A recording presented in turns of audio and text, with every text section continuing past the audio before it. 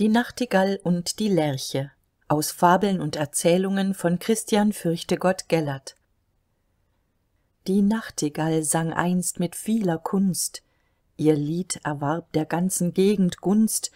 Die blätter in den gipfeln schwiegen und fühlten ein geheim vergnügen. Der vögel chor vergaß der ruh und hörte philomelen zu. Aurora selbst verzog am horizonte weil sie die sängerin nicht gnug bewundern konnte denn auch die götter rührt der schall der angenehmen nachtigall.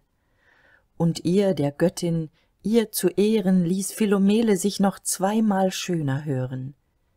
Sie schweigt darauf.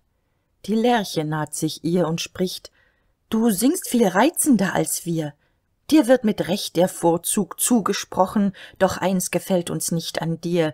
Du singst das ganze jahr nicht mehr als wenig wochen.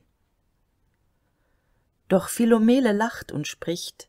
Dein bittrer vorwurf kränkt mich nicht und wird mir ewig ehre bringen.